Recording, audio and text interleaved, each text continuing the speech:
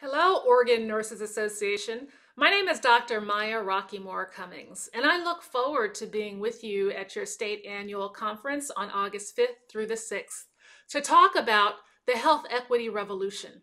Now, many people understand that we have been in the battle for the future of our democracy for the past several years, uh, but it's also a battle for the future of our health and prosperity and health equity is front and center.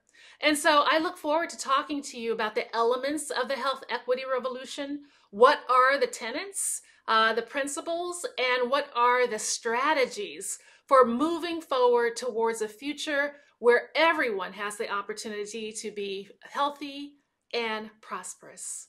Take care.